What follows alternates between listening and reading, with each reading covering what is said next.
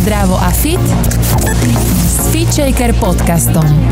Tento podcast ti prináša virtuálne fitko FitShaker.sk. Vítame vás dnes pri veľmi zaujímavej téme a to je funkčné dýchanie a pomoc so stresom a máme tu zaujímavých hostí, ktorým je Martin Janiš a Jakub Chudý, ktorí sú mimo všetkých špecializácií tréneri v Oxygen Advantage metóde ktorou by som rada začala na úvod, aby ste nám možno povedali o tom viacej, čo je to za metódu. Začnem teda ja. Je to Oxygen Advantage není ako keby nejaká nová dýchová technika. Je to metodika alebo metóda, ktorá združuje množstvo dýchových techník a vlastne na základe nejakého problému alebo cieľu jednotlivca, ona potom povie, že takto by si mal postupovať, aby si vyriešil uh, daný problém alebo aby si zlepšil svoje dýchanie, aby si sfunkčnil ten svoj dýchový stereotyp. Čiže je to metóda, ktorá zastrešuje povedzme, že takmer všetky, ktoré, ktoré poznáme a vzhľadom na cieľ ich usmerňuje, takto ich používajte. Čiže to je uh, z môjho pohľadu Oxygen Advantage. Uh-huh.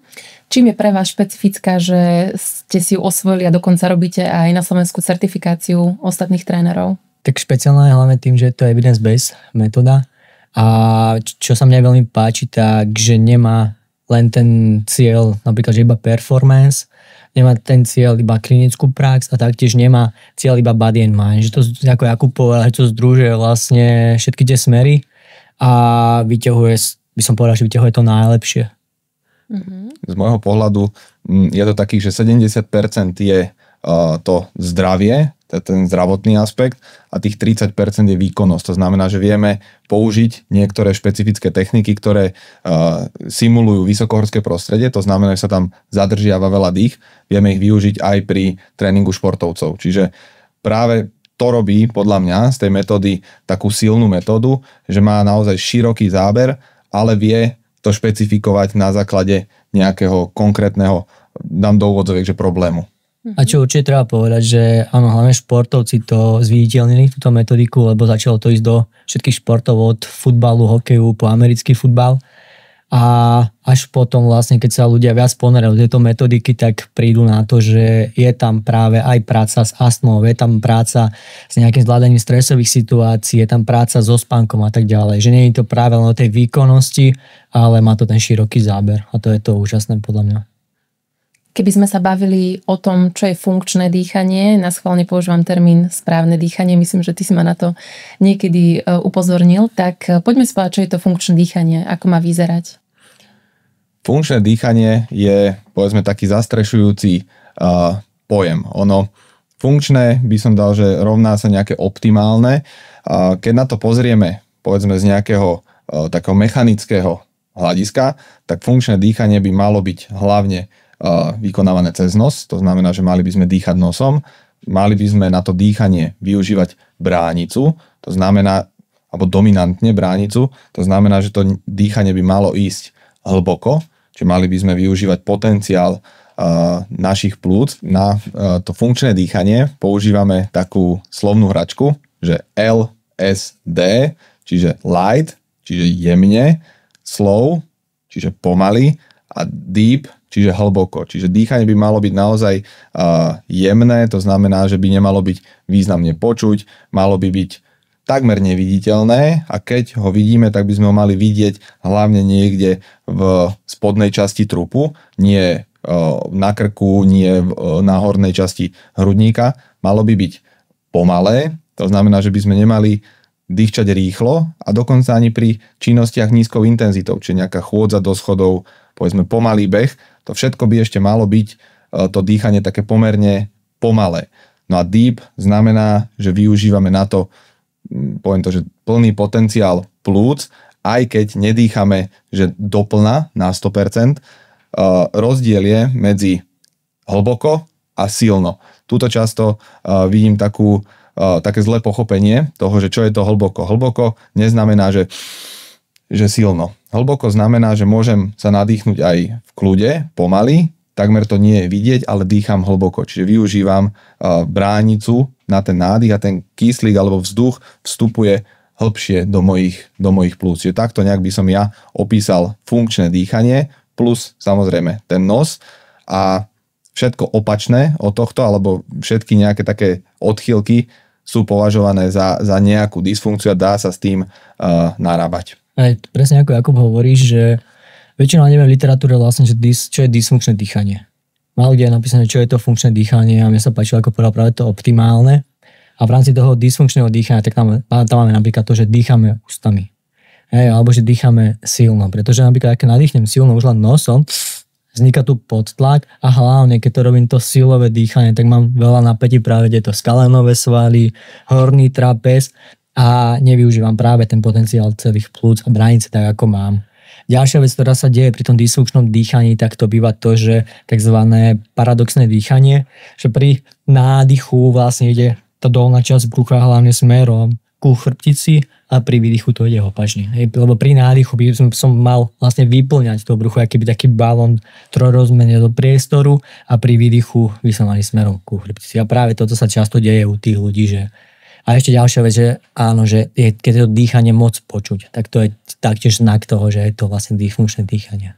Ano, niekde sa dokonca za e, dysfunkčný prejav dýchania považuje aj časté také zývanie alebo časté vzdychanie. Hm. Človek niekedy, keď je trošku už e, v strese, tak má tendenciu tak sa e, povzdychnúť, taký nejaký povzdych. No a ono máme, povedzme, to horné hrudné dýchanie, dýchanie cez ústa, paradoxné dýchanie, dokonca tam bývajú niekedy také, že parazitické pohyby pri dýchaní, to nazývam, že niekto, niekto dýcha a vidieť, že sa mu s nádychom nadvihuje povedzme rameno, alebo že dýcha tak, že sa mu dvíhajú takto hore, hore ramena. Čiže aj to môže byť považované. Ono, keď máme jednu vec, nemusíme to považovať, že Ježiš, mám hrozné dýchanie, teraz dysfunkčné.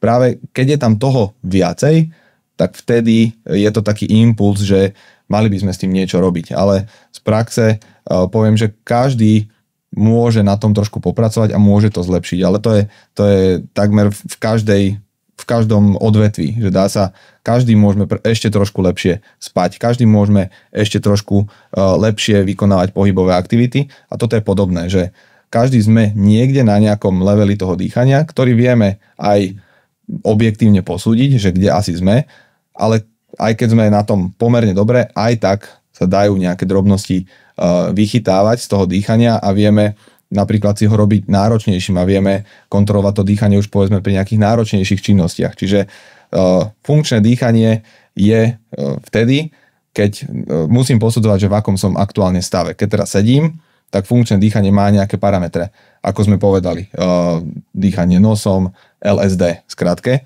Keď ale sa vydám do nejaké aktivity a začnem bežať, tak tam už pozerám na trošku iné parametre, lebo tam už moje, moje telo potrebuje viacej vzduchu, viacej kyslíku, aktivita ma núti dýchať viac a tam už to dýchanie je ako keby ľahšie rozpoznateľné a už tam viem zase sledovať nejaké drobnosti, ktoré môžeme, môžeme zlepšovať. Mm-hmm. Čiže asi toľko by som k tomu funkčnému dýchaniu. Keby sme to trošku chceli dať do praxe a aj našich divákov zatiahnuť do toho, aby si testli, ako kvalitne možno vedia dýchať.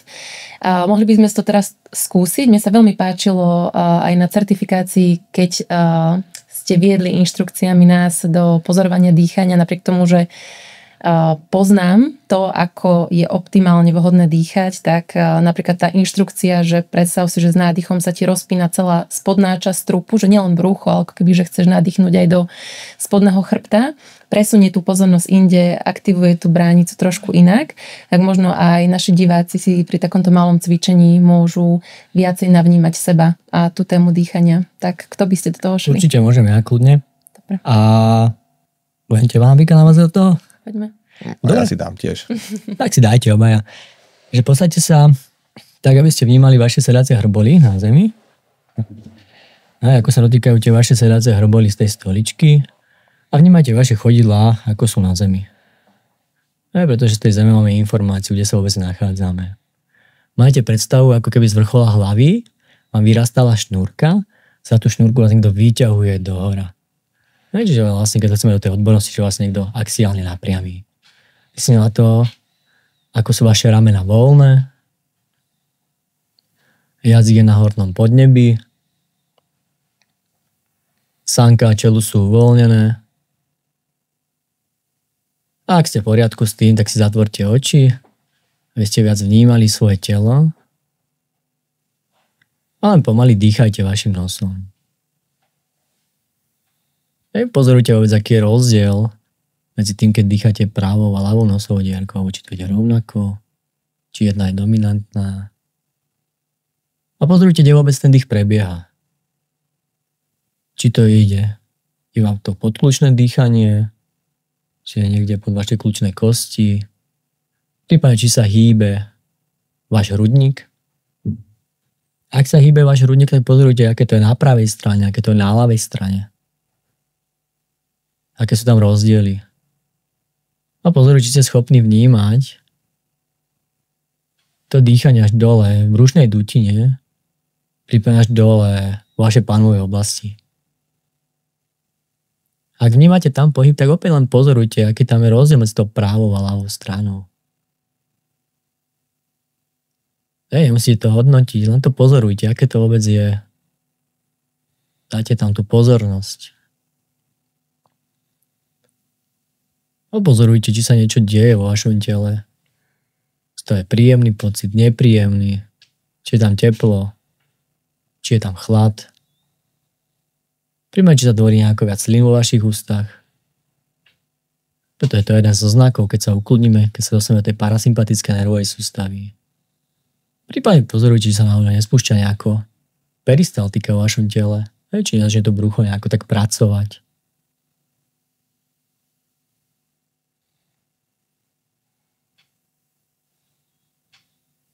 Stále myslíte na to, ako je ten jazyk na hornom podnebí, ako vám vrcholu hlavy vyrastá šnúrka, sa tu šnúrko vyťahuje do hora. A len pozorujte váš dých. Pozorujte, kde ste schopní vnímať ten dých. Ja už to počujem, že niekto aj prehltá, že sa tvorí viac slín. A pozorujte to, že či dokážete dýchať tak, že vás není ani počuť. Vlastne spomalíte to vaše dýchanie. Práve pomaly otvorte oči. Vráťte sa na naspäť. Aké to pre vás bolo? No, pre mňa veľmi ukludňujúce a ja pri takto nahrávaní podcastov cítim, že som trošku v strese. A asi je to aj prirodzené a vlastne úplne až tak si to keby nechcem dovoliť, ale mm-hmm. je to aj také zrkadlo tých bežných dní, že, že vlastne dovoliť si možno to spomalenie, nech sa deje úplne čokoľvek. A tu ma práve napadá aj tá ďalšia otázka, um, čo všetko zrkadlí náš dých o našom psychickom a fyzickom možno stave alebo takej kondícii. Tak ja by som povedal to, že dýchanie nám ukazuje všetko. Že ak sme veľa v strese, tak naše dýchanie sa zvýrazní, je nás oveľa viac počuť. A máme horšie trávenie, naše mm. dýchanie sa zhorší. Máme horší spánok, naše dýchanie sa zhorší. To zhoršenie môžeme chápať aj tak, že napríklad len sa prepneme do dýchania ústami. Že vlastne si neuvedomíme, že bolo nejaké náročnejšie obdobie, kedy sme boli pod tým stresom, vylučovalo sa viac kortizolu a my sme nevedome to prepli od dýchania ústami a automaticky sme vlastne prepli do nejakého nášho fungovania, ktoré není pro nás prospešné. Hej, pretože my sa dokážeme adaptovať a niekedy dochádza aj ku tej maladaptácii, čiže tej zlej adaptácii. A ja, ja často na certifikáciách hovorím aj na workshopoch, že všimajte si ľudí, ako dýchajú vedľa vás. Ak dýchajú výrazne, že ich počujete, že je to také tak viete, že oni sú oveľa bližšie k smrti, ako tí, ktorí dýchajú pomaly, kľudne a není ich ani počuť. Aj pozrite, aké majú napätie už len v tých sváloch okolo krku a tak ďalej, že, že vlastne to dýchanie nám vždy ukáže, ako je vôbec ten človek na tom. A mne keď príde klient napríklad na terapiu a, a príde hyperventilovaním, že to najprv popracujem na tom, aby som ho ukludnil, aby som dostal do toho kľudu, nech sa proste cíti bezpečne, pretože práve ten, to pocit bezpečia je vlastne základ nejakého zdravého rastu alebo tej zmeny, ak to chceme nazvať. Pre mňa to je základ tej terapie, že to, čo som aj u vás vnímal, že sa vám začalo tvoriť viac slín, alebo tá peristaltika, tak keď pracujem s klientom, tak vtedy, že OK, ideme dobrou cestou, dostať sa do toho bezpečia, cíti sa bezpečne, môžeme sa niekam vlastne postupne spoločne posúvať. Ale ak tam je stále taký ten výrazný dých, ktorý mi ukazuje, že je veľa pod stresom, je tam veľa kortizolu, ne, nemá toľko starostlivosti o seba, nemá tam to bezpečie, tak vtedy práve pracujem na tých dýchových technikách, ktoré sú ukludňujúce, ktoré toho človeka len zvolnia. Pretože to dýchanie je úžasné v tom, že tie výsledky sú tam veľmi rýchle. A ďalšia vec, že keď si pozrieme vlastne na nervus vagus, čo je 10. hlavový nerv, tak on je 80% aferentný. Čiže 80% informácií ide z tela do mozgu a 20% je eferentný, že iba 20% informácií ide z mozgu do tela. Čiže ak tam máme nejaké psychické veci, že potrebujeme niečo poriešiť, tak cez, to soma, cez ten somatický prístup, cez to telo sa dokážem rýchlejšie vlastne do toho dostať, do toho problému a dokážem to riešiť bez toho rozprávania vlastne v rámci tej terapie, že niekedy len cez ten somatický prístup dokážem vyriešiť ale z môjho perspektíve je najideálnejšie vlastne aj tá narratívna terapia, aj tá rozprávacia a s tou somatikou to práve sklbiť, hej, že to je, to je taký ten ideál. Mohol by si niečo doplniť? Mm, uvažujem nad tým, že by som tam doplnil niečo, niečo z praxe a napadlo mi, keď si ty hovoril, že vlastne to dýchanie zrkadlí vlastne ako sa ako sa človek aktuálne cíti, tak často prídu ľudia, alebo príde mi človek na, na tréning, ja viacej pôsobím skôr uh, tým, tým pohybom a dýchom a príde mi, že no dobre, poďme, poďme cvičiť, čo môžeme teraz robiť? A že počkaj, však ideme najprv trošičku sa upokojiť, uh, si podýchame, no ale ja keď uh, začneme teraz dýchať, mne sa chce potom hneď spať. To mi, to mi často povie, povie klient, no ale že telo ti asi niečo naznačuje, že, že no ale ne, nemôžem byť teraz e, taká unavená, že potrebujem e, ešte, ešte potom robiť. No ale poďme si trošku podýchať, upokojíme najskôr to telo, potom si zacvičíme, čiže dáme mu nejakú tú dávku, povedzme, pozitívneho stresu, keď to, keď to takto nazvem, ale na konci zase chcem, aby sme si opäť podýchali, aby sme to telo skľudnili, aby to telo vedelo rozlíšiť, že toto je uh, tá, povedzme tá pozitívna dávka stresu, toto je tá pohybová aktivita, ktorá mi má uh, pomôcť z dlhodobého hľadiska. A potom ty si pokračuj ďalej uh, v tom uh, svojom dni.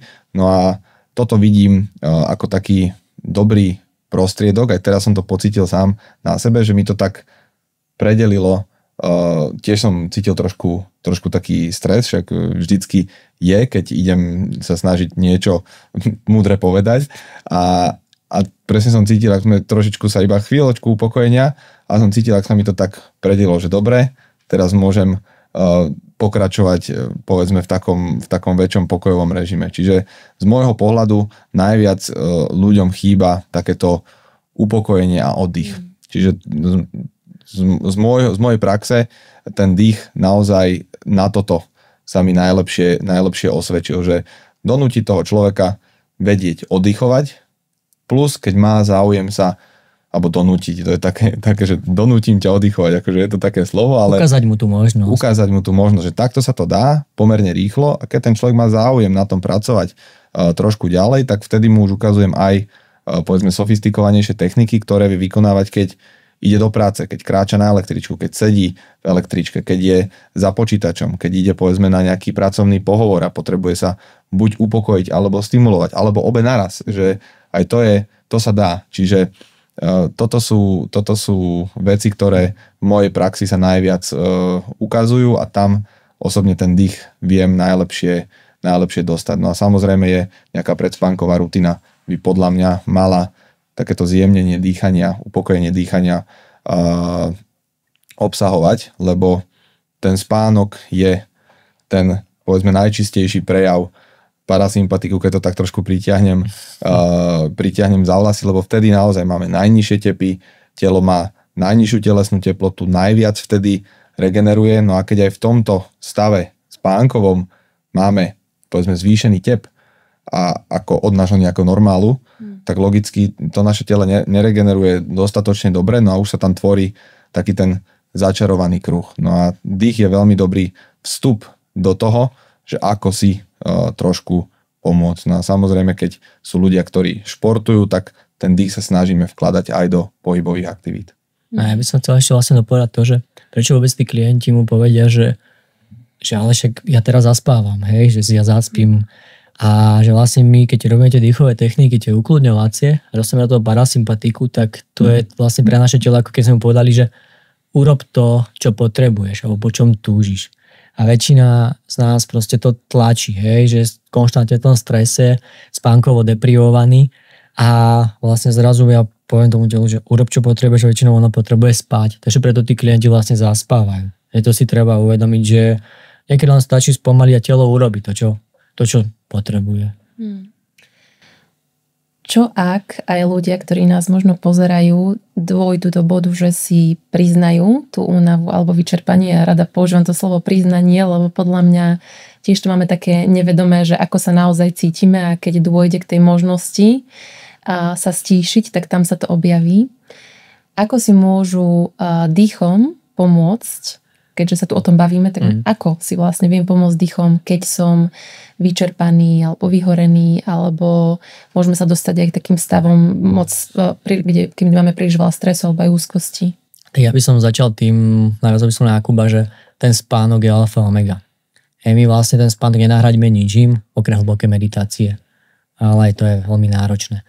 A ak chcem skvalitniť spánok, tak potrebujem robiť cvičenia, ktoré ma na ten spánok vlastne pripravia a ktoré, cvičenia, ktoré ma naučia ukludňovať, ktoré moje telo privedú do toho kľudu, do toho parasympatiku.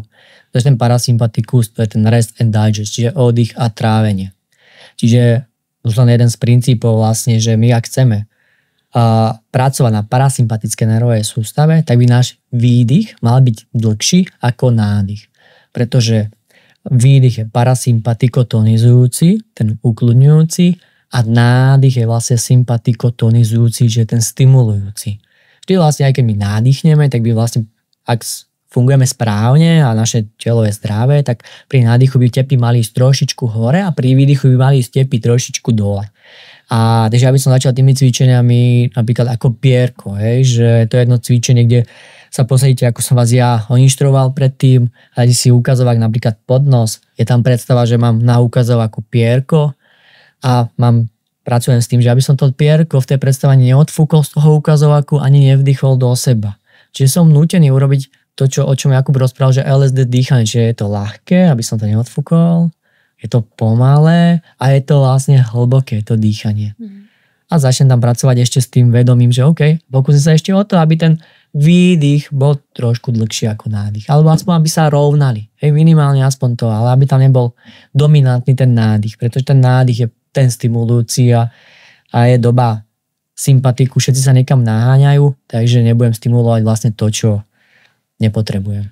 Čo mi napadá, že pravdepodobne je väčšina ľudí naozaj bežne viacej v tom nádychu ako v tom výdychu. Nie, nie sú pre nich tieto cvičenia zvyčajne ťažké, alebo nemôže to v nich vyvolať paradoxne aj nejaké nepríjemné stavy, keďže je to vlastne pre ich nervový systém trošku nové a chce ich to svičnúť do takého módu, kde netrávia veľa času? Môže to u nich privodiť vlastne náročné stavy, pretože je to pre nich niečo nové, presne ako hovoríš. A nie sú zvyknutí vlastne byť v kľude. Hej, často vlastne pre kli- mojich klientov, keď začnem mentorovať si dýchanie, je najnáročnejšie to, že byť v tom kľude. Vlastne robiť nič, vnímať telo, pozorovať to telo. A čím my pracujeme, že vlastne celá tá metodika oxygenativity, že záležá na bolt score. A vďaka tomu bolt score, čiže my ho ohodnotíme, ako je zdravotne v rámci dýchania ten človek na tom, tak na základe toho mu dáme vlastne cvičenia, ktoré sú pre neho adekvátne.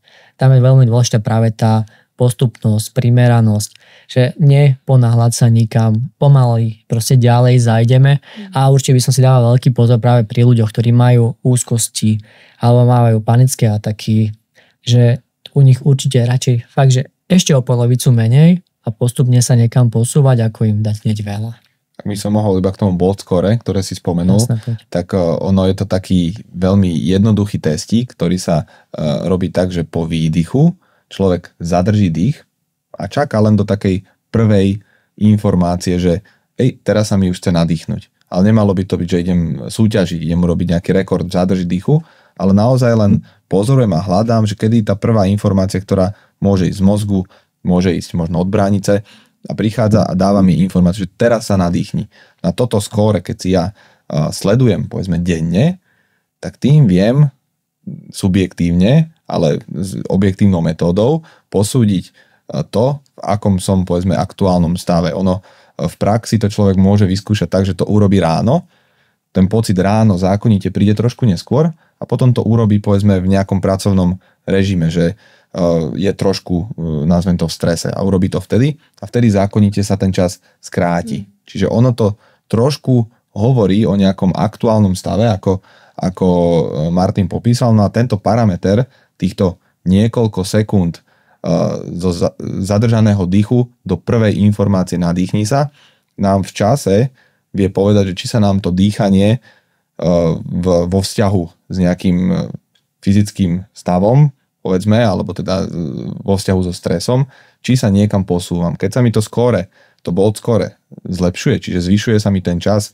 kedy ja som komfortne so zadržaným dýchom, tak viem, že sa niekam posúvam. No a mm, toto používame s klientmi často, že každé ráno si meriame tento, tento parameter, no a v čase vieme posúdiť, že či sa to niekam e, posúva. No a klient si to potom vie aj tak subjektívne porovnať s tým, ako sa naozaj cíti, že či to korešponduje. A minimálne je tam taký aj, aj príjemný psychologický efekt, keď vidím, že niekam sa to posúva, tak potom som aj spokojnejší a čiže môže, môže tam prísť do nejakej, do nejakej miery aj, aj to placebo, ale to chceme, to je, to je pozitívna vec, čiže, čiže ono nám to viac menej pomáha vlastne budovať ten, ten zdravý návyk, čiže nejaké zdravé funkčné dýchanie. Keď si niečo vieme odsledovať a vidíme, že sa to zlepšuje. Ono je to taký istý presah aj napríklad pri e, cvičení. Keď vidím, že cvičím s nejakým zámerom a darí sa mi povedzme trošku chudnúť, tak ma to motivuje pracovať ďalej. No toto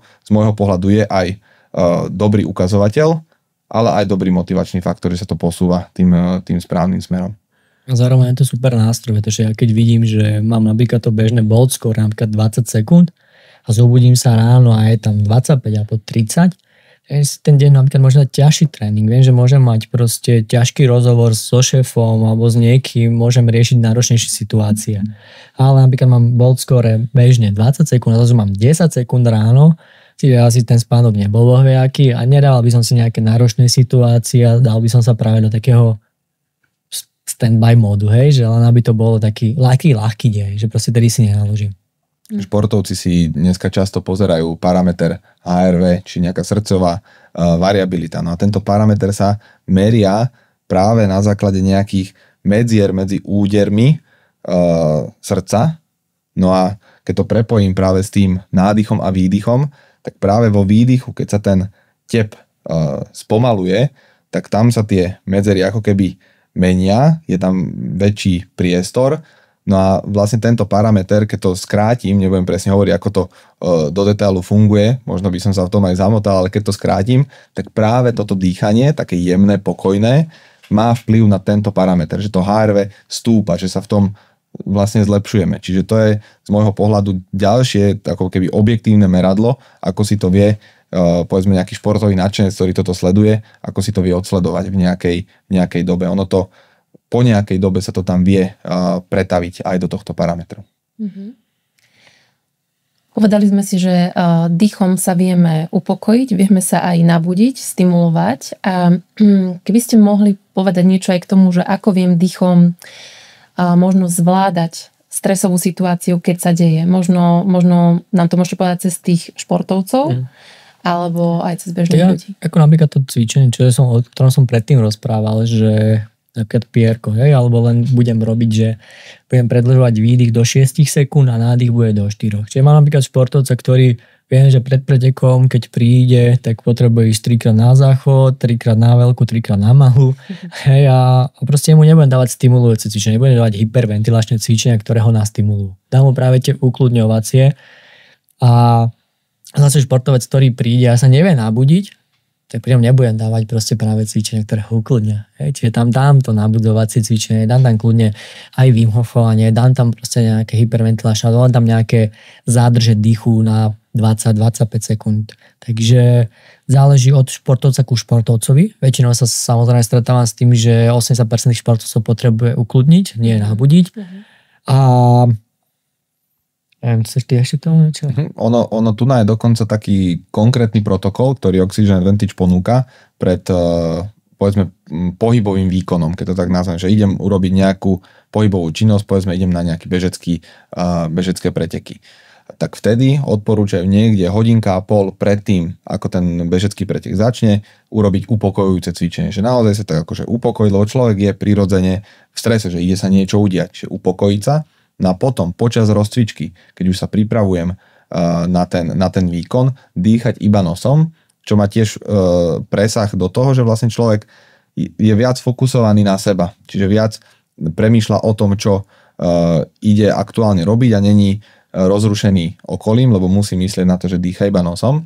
Potom sa tam odporúča robiť takých 5 až 7 ťažkých dýchových zádrží. To znamená, že povedzme bežci zvyknú bežať rovinky, v rozcvičke, tak tie rovinky robím so zadržaným dýchom po výdychu. Vždy tu na sa to robí, alebo teda v drtivé väčšine po výdychu.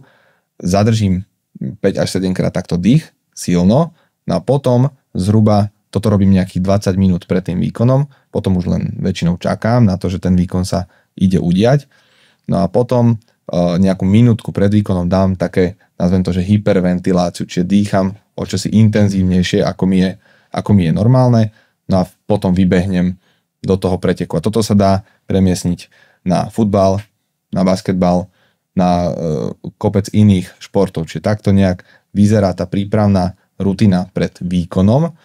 No a potom, keď sa môžeme baviť na rutinu pred, povedzme, prednáškou alebo pohovorom, mm-hmm. tak tam sa tiež upo- o, odporúča upokojiť dýchanie, čiže znížiť frekvenciu dýchania a tiež robiť dýchové zádrže, ale už také v pokoji.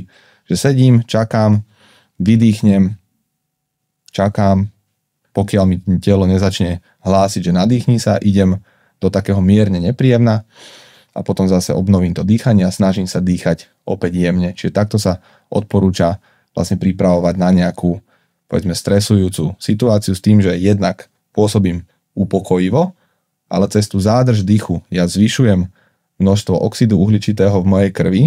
To znamená, že oxid uhličitý je vazodilatant, to znamená, že rozširuje cievy. Inými slovami, trošku lepšie prekrvím moje telo vrátane mozgu a vlastne viem fungovať lepšie. Ja som v jednom momente sa aj upokojil tým, že som znížil frekvenciu dýchania a v druhom momente som sa lepšie prekrvil, tým pádom by som mal fungovať lepšie, konštruktívnejšie, kreatívnejšie. Čiže takýmto spôsobom z môjho pohľadu je dobre pristupovať k tým bežným denným činnostiam. Čo znamená chronický stres a ako pôsobí na náš celý systém? Podľa literatúry je definovaný chronický stres od tretieho dňa. A ako pôsobí? No, stres v krátkodobom horizonte je úžasný, ale v dlhodobom horizonte je pre nás škodiaci, by som to nazval. Pretože dochádza tam k tvorbe kortizolu a časom vlastne dochádza ku tzv. tej mal, maladaptácii na kortizol, čiže zlej adaptácii na kortizol a vedia sa nám spustiť ako keby naše možnosti na ochorenia, hej, že ak máme preva, prevalenciu tá predispozíciu na, napríklad na vysoký krvný tlak, máme predispozíciu na nejaké onkologické ochorenie a podobne, tak e, práve týmto maladaptáciou na kortizol máme väčšiu možnosť, že sa nám to vlastne spustí. Čiže to je, to je práve ten, ten kameň úrazu a to je ten problém, ktorý sa aktuálne deje v dnešnej dobe, že ľudia sú v tom chronickom strese, sú v tom dlhodobom strese a vlastne nestiahajú oddychovať. A tam sa nebavíme, že oni sú v troch, štyroch dňoch. Hej, oni sú v troch, štyroch rokoch. A preto je podľa mňa aj taká, taká veľká, taký veľký náraz teraz autoimunitných ochorení, a celkovo aj civilizačné ochorenie a tak ďalej. Že to tam veľkú, veľkú úlohu tam práve zohráva tento chronický stres. Ja keď sa snažím ľuďom vysvetliť, že čo to je ten chronický stres a prečo je povedzme, že nebezpečný, alebo že prečo naň treba dávať pozor, tak na začiatku sa im snažím vysvetliť, čo je to ten akutný stres, lebo však stres je stres. Čo sa deje pri strese? No ja keď som v strese, tak sa mi aktivuje boj alebo útek, tento, tento mód. Ten je spojený práve s vylúčením adrenalínu, čo je mobilizačný hormón, s vylúčením kortizolu, čo je tiež mobilizačný hormón, zvýši sa mi tep, zvýši sa mi tlak, prestane mi tráviť, e, proste pripravujem sa na to, aby som bojoval alebo ušiel. No a toto uh, sa deje vlastne dlhodobo, keď sa to opakuje, tak vlastne to je ten uh, chronický stres. Ono to nemusí byť hneď, že sa mi zvýši tep z mojich 50 na, na 100, ale môže to byť len mierne zvýšenie, mierny, nazvem to mierny stres, ktorý chvíľu je úplne normálny, ale problém je, keď je dlhodobo opakujúci sa. Problém je, keď mne, ako povedal Martin, ten kortizol dlhodobo uh, prúdi krvou alebo prúdi, prúdi mojim organizmom a nie je následovaný nejakou aktivitou. Ako som hovoril, je to, sú to mobilizačné hormóny.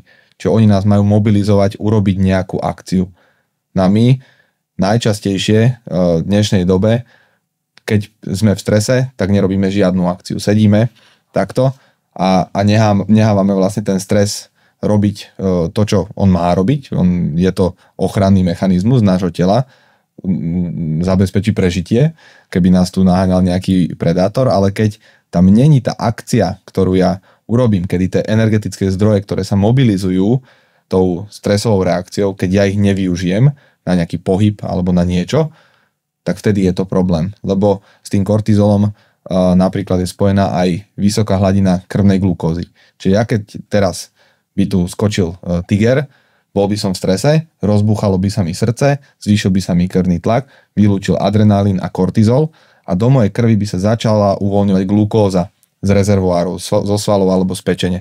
Zvýšila by sa mi krvná glukóza na to, aby ja keď začnem robiť tú akciu, aby bola pripravená na využitie, aby som mohol ujsť, aby som mohol e, niečo urobiť. No a toto sa nedieje. Na krvná glukóza vieme, že to nie je úplne optimálne mať dlhodobo zvýšenú krvnú glukózu. Toto je taký jeden malý príklad, mm. ktorý, ako si to človek vie uh, predstaviť. No samozrejme tých, uh, tých uh, reakcií je tam o mnoho viacej, ono je to o mnoho komplexnejší problém, ten chronický stres, ale toto je za mňa také jednoduchšie predstaviteľné, keď si toto človek uh, predstaví. No a potom ten chronický stres sa vie prejaviť napríklad tak, že človek má permanentne horšiu náladu je ľahko vykolajiteľný z, zo svojej nálady.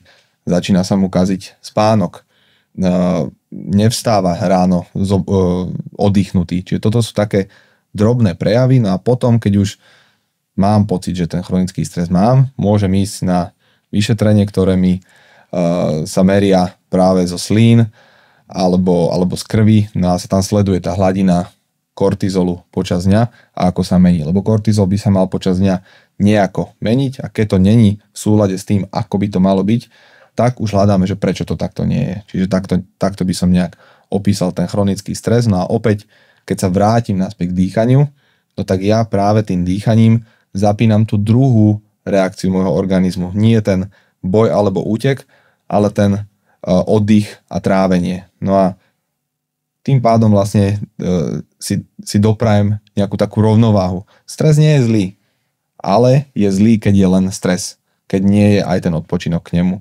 Čiže tam ja vidím ten presah toho dýchu, že dorovnáva, mm-hmm. alebo vďaka tomu viem sa nejak dorovnať do, tej, do takej tej optimálnej, uh, optimálnej hladiny. Zase sme pri tom slovičku. Aj. Optimálny. No ja sa ale dôležité sa hlavne uvedomiť, že to pôsobí na to celé telo. Aj svaly, že sú stuhnuté, hej, že tam je vlastne celkovo taká tenzia v tele.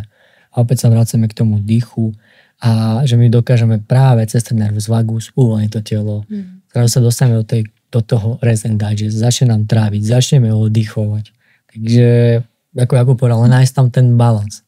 Aspoň niečím to vybalansovať a, a potom vlastne naše telo začne oveľa efektívnejšie fungovať. Na záver ešte otázka, pretože sa tu veľa bavíme o tom balanse toho sympatika a parasympatika, ale mám pocit, že tá dnešná doba je tak e, v sympatiku, že my sme proste tam a chceme to nejak upokojiť, ale vlastne aký by mal byť ten optimálny alebo tá ideálny stav, kde by sme mali optimálne tráviť viacej času. Má to byť tak cca e, rovnomerne, alebo máme byť viacej v parasympatiku? Uh, ideál je nájsť ten balans toho mhm. celého. Mm-hmm. A pre mňa ideál v rámci zdravia je to, aby sme sa ráno zobudili aspoň 6 razy z týždňa svieži, mm. bez budíka. Aby sme nepotrebovali kávu na to, aby sme fungovali a aby sme nemali problém s zaspávaním aby sme mali problém s trávením, aby sme nemali tr- problém napríklad uh, ženy napríklad s menštruáciou a tak ďalej, že vlastne ono tam je veľmi veľa symptómov toho chronického stresu, ktoré si často neuvedomujeme, že fakt už len pri tej menštruácii, tak to je, že bolestivá menštruácia, že je niečo bežné. Nie je to bežné. A žena má o tej menštruácii vedieť, ale nemá to byť niečo, čo ju vlastne dá úplne mimo kolaja a vlastne ona dokáže fungovať ten deň. Takže a ideál, ideál môžeme to aj sledovať cez to HRV, čo je tá variabilita svojej frekvencie, ale ja som viac zastanca toho, že dať preč prístroje, pretože veľa sa naučíme za vás, budeme sa fixovať na výsledok, čo bude na tom prístroji a viac ísť do toho pocitu.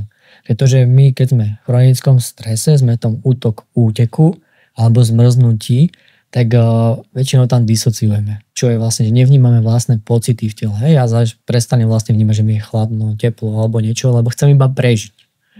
A čo je pre mňa dôležité práve pracovať cez tú somatiku, či už dýchanie, Feldenkraisová metóda, somatic experience, iné somatic, alebo yoga, pilates, alebo nejaké iné somatické prístupy, ísť do toho tela, začať vnímať znova telo. Niektorí psychi- psychoterapeuti vlastne hovoria, že vnímanie tela je taká obživa pre mozog. A my toto potrebujeme. Potrebujeme vnímať, čo sa tam vôbec deje s tým telom. OK, že čo robí moje koleno, kde sa cítim, kde cítim ten stres a podobne. Lebo napríklad niekto, kto je odpojený od toho tela, on nevie, že je vystresovaný. On, on na to, že je vystresovaný až vtedy, keď je za nejakou hranicou, už keď je toho hodne. Hej, že on si vlastne, že hm, však to je v poriadku. Pretože tú normu si on posunul hm, totálne iné, inde. A dôležité sa znova vrátiť do toho svojho stredu. A podľa mňa tam je na mieste aj nájsť nejakých tých odborníkov, pozrieť sa na to aj z tej psychickej stránky. Pretože nedá sa všetko iba cez to dýchanie, môže tam byť práca práve aj s nejakou traumou z minulosti, môže tam niečo s psychikou, môže tam byť niečo z prenátalu a tak ďalej, že aj do, to, do tohto smeru by som išiel. Ja sám som napríklad nastúpil do psychoterapie 3,5 roka dozadu a vtedy som riešil dýchanie, riešil som Feldenkransov metódu, riešil som iné somatické prístupy, ale nič mi tak nezmenilo moje zdravie a moje fungovanie ako práve psychoterapia. Takže ja by som práve aj túto tému otvoril, že aké to je dôležité práve to psychické zdravie riešiť a, a potom vlastne taktiež znova sledovať, že ako sa tam teda cítim, ako sa ráno budím, ako, ako sa cítim proste, keď som sám so sebou, v tichu a v kľude. Hej, vlastne tí ľudia už nevedia byť v kľude a v tichu, pre nich to je niečo nové. A to je pre mňa ten optimál, keď dokáže mať dobrý vzťah sám so sebou v tichu. To je asi taký pre mňa optimál. To si povedal pekne ako taký vlastne message možno celej, celej tejto uh, epizódy. Ja keby som mal sa vyjadriť k tomu sympatiku a parasympatiku, tak domnievam sa, že viacej by sme mali tráviť v tom parasympatiku, mm. uh, keby som to mal takto skrátiť, tú, tú odpoveď. Mm. Ďakujem vám za veľmi výživný, inšpirujúci rozhovor. Verím, že ste to s nami rovnako tak podobne cítili a že si z toho niečo odnesiete a ďakujem. Aj my ďakujem pekne. Ja ďakujem tiež pekne za pozvanie. Počúvali ste Fit Shaker podcast. Ja som Andrea Peňaková a verím, že sa počujeme aj na budúce.